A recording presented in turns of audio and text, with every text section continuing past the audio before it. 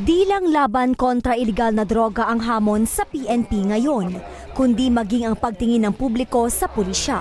Kaya naman sunod-sunod ang programang kanilang inilunsad na magbibida sa mga mamang pulis. Kanina isang Memorandum of Agreement ang pinirmahan ng PNP kasama ang Light Rail Transit Authority para paigtingin pa ang seguridad sa mga istasyon ng tren. Bawat istasyon ay magkakaroon na ng Police Assistance Desk. Libreng makakasakay ang mga pulis na naka-duty.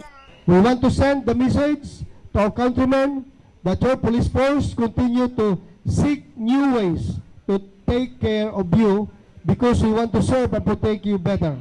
Inilunsad din ng PNP ang LIFT o Life After Tokang program na layong matulungan ang higit isang milyong drug pusher at user na sumuko para magbagong buhay.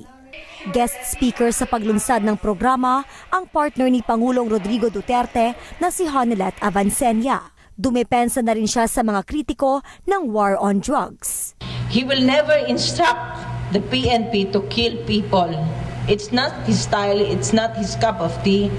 Pinasaringan din niya si Senador Antonio Trillanes IV, isa sa mga matitinding bumabatikos sa Pangulo at sa war on drugs. Trillanes has been hitting us since a week before election. Pero bakit buhay pa siya? Di ba? Wala namang nangyayari. so it's not true that, you know, he's that kind of person.